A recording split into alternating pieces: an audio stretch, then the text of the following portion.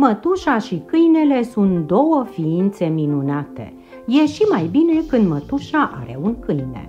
Problema apare când vreau să spun câinele este al mătușei sau al mătușii.